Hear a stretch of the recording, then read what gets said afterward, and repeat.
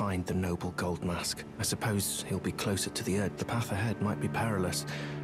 Since departing the Roundtable Hold, I've come to on how little it is I...